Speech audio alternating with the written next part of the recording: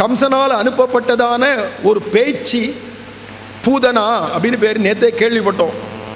இருக்கிறதான பல்லு முளைச்ச குழந்தை பல்லு முளைக்காத குழந்தை ஒரு வயசுக்கு உட்பட்டதான எல்லா குழந்தையும் கொலை பண்ணிவிடு அப்படின்னு கம்சன் போட்டிருக்கிற உத்தரவும் பேரில் பூதனா அப்படிங்கிறவள் அவள் பாலக்னி அப்படிங்கிறார். குழந்தைகளெல்லாம் கொலை பண்ணக்கூடியவள் அவள் ஆகாச மார்க்கமாக சஞ்சாரம் பண்ணுறா கேச்சரின்னு சொல்கிறாருங்க ஆகாச மார்க்கமாக சஞ்சாரம் பண்ணக்கூடியவள் பலவிதமான ரூபம் எடுத்துக்கக்கூடியவள் ராட்சசி அவள்.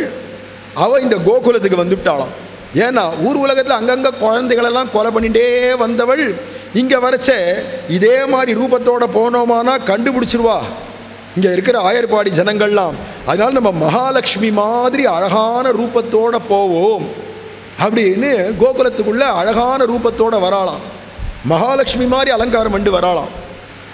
நீ வெளியில் என்ன வேணால் அலங்காரம் பண்ணிக்கலாம். அவன் உள்ளம் அழகாக இருக்கணுமே. மனசுக்குள்ள அழகு இல்லாத வெளியில் நீ பண்ணிக்கிற அழகெல்லாம் நிஜமான அழகு இல்லை.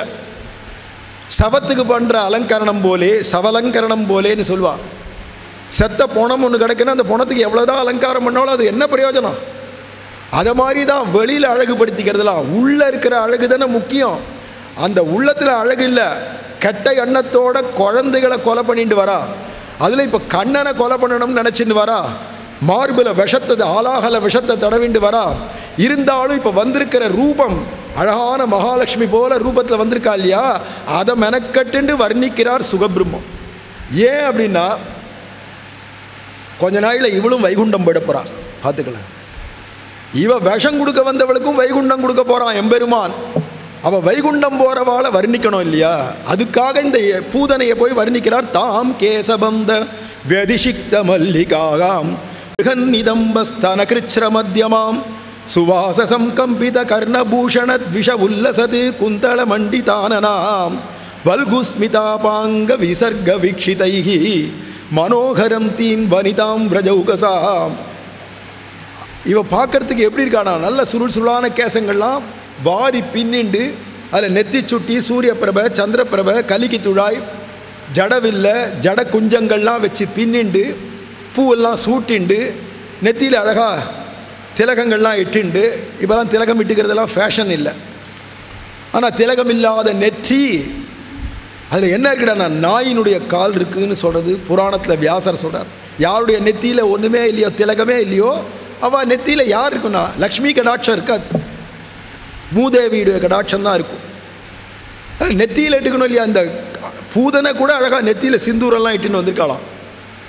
அழகான ரூபத்தோட நல்ல புடவை பட்டு புடவையெல்லாம் உடுத்திண்டு இடுப்புலெல்லாம் மேக்கலைகளும் கைகளுக்கெல்லாம் நிறைய சீரார் வளைகுலுங்க தோள்களில் தோல் வளைகளோ விரல்களில் மோதிரங்களோ காதுகளெல்லாம் குண்டலங்களும் கழுத்துலலாம் ஹார பதக்கங்களும் பார்க்கறதுக்கு அழகான தன்வியாக நட போட்டுன்னு வரா தன்வியாக வரைச்சவே நல்ல ஹம்ச காமினியாக அன்ன நட போட்டுண்டு தழுக்கு முழுக்குமாக கையில் ஒரு தாமரைப்பூவை சுவைட்டுண்டு.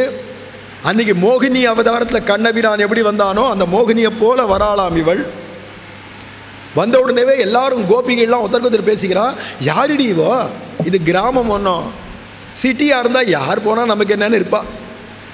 கிராமம்னு வந்துருத்துனா ஒருத்தருக்கு ஒருத்தர் பேசிப்பா இல்லையா? யாருடி இவள்? அப்படின்னா ஒவ்வொருத்தர் ஒன்று ஒன்று சொன்னார் ராஜகுமாரத்தியாக இருக்கும்னு நினைக்கிறேன் படிப்படி ராஜகுமாரத்தின்னா முன்னாடி பின்னாடி சேனைகள்லாம் வருமேடி ஒரு வீரன் கூட பக்கத்தில் வரலையே. நான் நினைக்கிறேன் முனி குமாரத்தியாக இருக்கும் ரிஷியுடைய பெண்ணாக இருக்கும்னு நினைக்கிறேன். ரிஷியுடைய பெண்ணாக இருந்தால் இவ்வளவு நகை ஏதிரி அவள்லாம் மர ஊறி கட்டின்னு இருப்பா கழுத்தில் துளசி மாலை போட்டுன்னு இருப்பா இவ்வளவு நகை போட்டுன்னு இருக்கிறதுனாலேயே இவ ஒன்றும் முனி குமாரத்தி இல்லை. அப்படின்னா நான் நினைக்கிறேன் ஏதோ தேவதா ஸ்திரியாக இருப்போம்னு நினைக்கிறேன். ரம்ப ஊர்வசி இந்திராணி யாரோ ஒரு தேவதை போல இருக்கு. தேவதையாக இருந்தால் அவள் கால் பூமியிலேயே படாதேடி. இவள் அழகாக அண்ணனடை போட்டுன்னு போகிறாளே உடனே ஒரு கோபி சொல்கிறா நான் நினைக்கிற மகாலட்சுமி தாயார் தான் இப்படி நடந்து போகிறான் ஆமாம் தாயார் நம்ம வீட்டு வாச வழியாக அப்படி நடந்து போவா. அப்படி என்னடி பௌஷன் நமக்கு? என்ன பௌஷன் நமக்கு? ஏண்டி என்ன குறைச்சலாம் நமக்கு? ஸ்வயம் வைகுண்டத்துலேருந்து நாராயணனே வந்து கண்ணனா எப்போ பிறந்திருக்கானோ தன்னுடைய பதியை பார்க்கறதுக்கு மகாலட்சுமி ஏன் வரமாட்டா? அதனால கோபியஸ்யம் திரஷ்டும் இவாகதாம் பதிம். கோபிகள்லாம் சொல்லிக்கிறா மகாலட்சுமி தாயார் தான் தன்னுடைய பதியான விஷ்ணுவை பார்க்க வந்துட்டா. அப்படின்னு நம்ம இங்கேருந்தே ஸ்மரணம் பண்ணிட்டு இங்கேயே இருப்போம். லக்ஷ்மியும் நாராயணனும் அங்கே சேர்ந்து அனுபவிப்பா. அப்படின்னு நினச்சின்னு நம்ம இங்கேயே இருப்போம். அப்படின்றதுனால ஒத்தரும் வரலையாம். எல்லாம் இல்லாட்டா ஊரே கூடிவிடும். ஒருத்தரும் வரல. இதுதான் வசதின்னு நினச்சா அந்த பூதனையும் உள்ளே வந்த உடனே யசோத வரவேற்றா. யார் வந்தாலும் பவளவாயீர் வந்து காணீரே. ஒன்னுதலீர் வந்து காணீரேன்னு குழந்தை கண்ணனை கூப்பிட்டு கூப்பிட்டு அவனுடைய அழகை காட்டக்கூடிய யசோதைக்கு இவளை பார்த்தா மகாலட்சுமி மாதிரியே இருக்கிறதுனால இவளுடைய மனசில் அழுக்கு இருக்குன்னு தெரியல. கல்மஷத்தோடு வந்திருக்கான்னு தெரியல. குழந்தை கண்ணனை இந்தாங்கம்மான்னு கையில் கொடுக்க கடைச்சுட்டான். எதை தேடின்னு வந்தோமோ அந்த குழந்தை கையில் கிடச்சிடுத்து ஆனால் மார்பில் முளைக்காம்புல எல்லாம் விஷம் தடவின்னு வந்திருக்கா. அந்த விஷத்தை கொடுத்து குழந்தைய கொலை பண்ணோன்னு நினைக்கிறா. ஆனால் இப்போ யசோதை இருக்காளே எப்படி?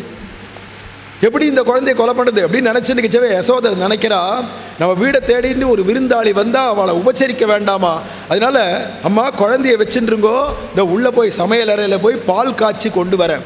அப்படின்னு உள்ள அடுப்பங்கரைக்கு போனாலோ இல்லையோ மடப்பள்ளிக்கு போனாலோ இல்லையோ இதுதான் சமயம் அக்கம் பக்கம் பார்த்தா யாரும் இல்லைன்னு ஒன்று தன்னுடையதான ஸ்தனத்தை எடுத்து அவனுடைய வாயில் வச்சு பால் கொடுக்கலாம்னு போக கண்ணன் இவ வந்ததை பார்த்த உடனேவே கண்ணை மூடினுட்டான் ஏன்னா பாகவதாளுக்குரியதான கடாட்சம் இந்த குழந்தைகளை கொலை பண்ண இவளுக்கு படக்கூடாது அந்த கடாட்சம். செங்கன் சிரிச்சிருதே எம்மேல் விழியாவோன்னு ஆண்டாளை போல வந்தா வேணா கடாட்சம் பண்ணலாமே தவிர பூதனைக்கா கடாட்சம்.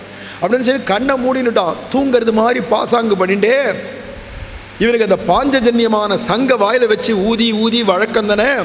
இவளுடைய மார்பகம் பார்த்தா சங்கு மாதிரி இருக்குது ரெண்டு கையினால் பிடிச்சிருட்டான் ஆனால் ஒரே ஒரு வித்தியாசம்தான். சங்குக்குள்ள காத்த உள்ள விட்டா அது பம் பம் பம்னு கத்தும். இந்த பூதனை ஆகிய சங்குடையதான உள்ள இருக்கிற காத்த வெளியில உறிஞ்சானானா இது பம் பம் பம்னு கத்தும். அவளுடைய காத்துனா பஞ்ச பிராணன். அந்த பூதனா பஞ்ச பிராணத்தையும் அபகரிக்கிறதுக்காக அந்த பால் குடிக்கிற வியாஜத்தில் அப்படியே சேர்த்து அவளுடைய பஞ்ச பிராணனையும் குடித்தானோ இல்லையோ உடனே அவளுக்கு சர்வ மர்மங்கள்லேருந்தும் பிராணன் வெளியில் கிளம்ப தாங்க முடியாத உயிர் போகிற நிலைமை அடைஞ்சு விடுடா விடுடா விடுடான்றா. கிருஷ்ணன் யாரையும் பிடிக்க மாட்டான்.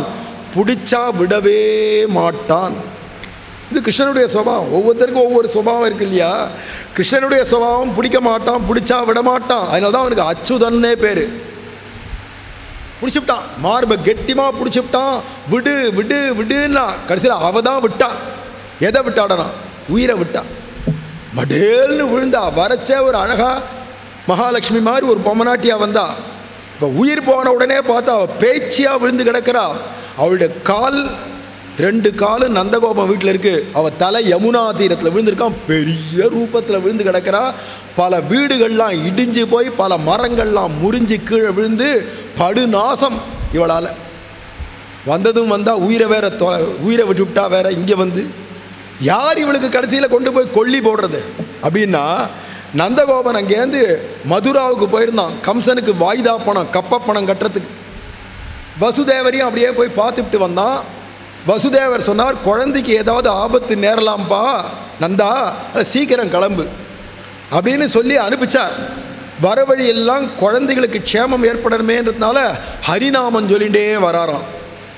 நம்ம வீட்லேயும் நம்ம எல்லாருக்கும் குடும்பத்தில் க்ஷேமம் ஏற்படணுமானா பகவானுடைய நாமத்தை சொல்லிட்டு இருந்தால் தான் க்ஷேமமே தவிர அதை விட்டு வேறு வழி கிடையாது கதி கிடையாது. நாமம் சொல்லிகிட்டே அங்கேருந்து வந்து பார்த்தா இங்கே ஊரே கூடி கிடக்கு நந்தகோபன் வீட்டு வாசலில் நந்தகோபன் என்னன்னு விசாரித்தான் யாரோ ஒரு பேச்சு நம்ம குழந்தை கண்ணனை கொலை பண்ணுறதுக்கு வந்தால் கடைசியில் அவள் உயிரை விட்டுவிட்டா அப்படின்னு உடனே குழந்தை கண்ணனோ மார்பில் விளையாடின்றிருக்கான் இன்றைக்கெல்லாம் இருந்தால் எவ்வளோ வயசுறானா? பதினஞ்சு நாள் குழந்தை. பிறந்து பதினஞ்சாவது நாள் தான் ஒரு பட்சம் ஆகலை. அதுக்குள்ளாலேயே இங்கே இவ்வளோ பெரிய ஆபத்து வந்துடுது ஆனால் கண்ணனுக்கு ஒன்றும் இல்லை. ஆபத்துக்கு ஆபத்து வந்ததே தவிர கண்ணனுக்கு ஆபத்து இல்லை. எல்லாருமா சேர்ந்து இவளை அடக்கம் பண்ணணுமே அப்படின்னு நினச்சா. இவ்வளோ பெரிய ரூபத்துக்கு எவ்வளோ பெரிய பாடை கட்டி எடுத்துன்னு போடுது. அதெல்லாம் சாத்தியமே இல்லை. அதனால நந்தகோபன் எல்லா கோபர்களோடு சேர்ந்து இவ கையை தனியாக வெட்டி இந்த கையை தனியாக வெட்டி இந்த காலு அந்த காலை தனித்தனியாக வெட்டி உடம்ப தனித்தனியாக வெட்டி தலையை தனியாக வெட்டி தனித்தனியாக பாடையை கட்டி எடுத்துன்னு போய் யமுனை ஆற்றங்கரையில் கொண்டு போய் அங்கே பொசுக்கிட்டு அவளை கொளுத்திட்டு எல்லாரும் போய் ஸ்நானம் பண்ணிட்டு ஊருக்குள்ளே வரா கோபர்கள்லாம் பார்த்தா கம கம கம கம கமன்னு பொணத்தை எரிச்சா நாரணம். ஆனால் இந்த பூதனையை எரிச்சுட்டு வந்தால் ஒரே சந்தன மனம் வீசுறதாம். ஏன்னா அவளும் வைகுண்டம் போய் சேர்ந்தாள் அப்படிங்கிறது காட்டப்படுறதாம். நந்தகோ அது மட்டும் இல்லை கண்ணனை நினச்சிண்டு உயிர் போயிடுத்துனாலே அவளுக்கு வைகுண்டம் கிடைக்கும்னு சொன்னால் உயிர் போர்ச்சே கிருஷ்ணான்னு சொல்லிட்டு உயிர் போனாலே அவளுக்கு வைகுண்டம்னு சொன்னால் கிருஷ்ணன் மடியில் இருக்கச்சேவே கிருஷ்ணனே அவளுடைய மார்பில் வாயை வச்சுட்டு பால் குடிக்கிற வியாஜத்தில் இருக்கச்சே அப்போ அந்த கண்ணனே மடியில் இருக்கச்சே உயிர் போடுதுன்னா அவளுக்கு ஏன் வைகுண்டம் கிடைக்காது?